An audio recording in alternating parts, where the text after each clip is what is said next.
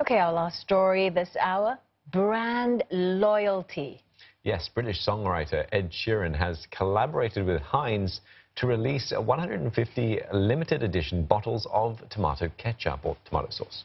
Okay, so the global star is a loyal fan of Heinz and even has, get this, the label mm. tattooed on his arm. And his tattoo, that's going to be the feature on the limited edition bottles.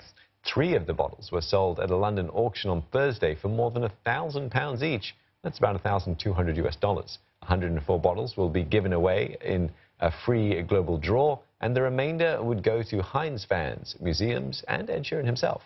And all monies raised from the bottles will be donated to charity.